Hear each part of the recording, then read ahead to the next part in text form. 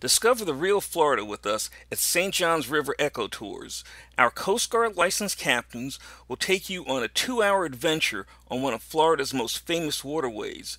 During our tours, you'll see lots of wildlife and experience a section of the St. Johns River that hasn't changed much since the days when the early explorers visited these enchanting waters. Whether you're a bird watcher, a fan of alligators or manatees, a nature photographer, or you're just looking for something a little different, our St. John's Riverboat tours are special.